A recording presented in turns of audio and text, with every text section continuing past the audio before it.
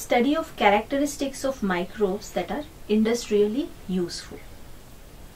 Students, we study various organisms and things related to them in biology. But as there is vast diversity among the microorganisms, there are sub branches of biology. Microbiology is one of them. This branch deals with the study of microorganisms.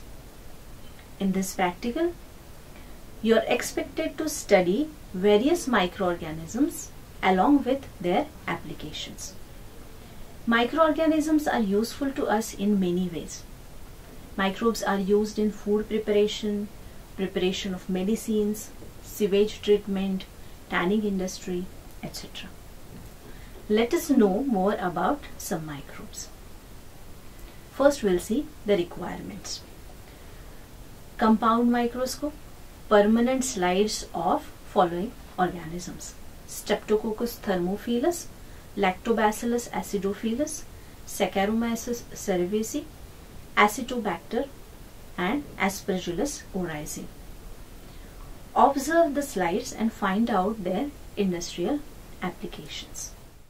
First we'll write about Streptococcus thermophilus. It is gram-positive bacteria which is widely used in dairy industry and in preparation of yogurt and mozzarella cheese. Second, Lactobacillus acidophilus.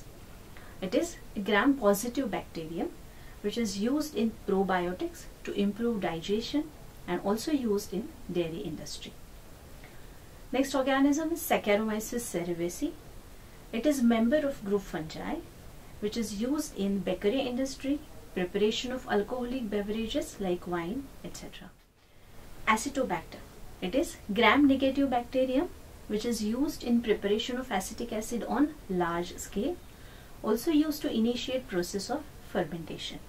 Next organism is Aspergillus oryzae.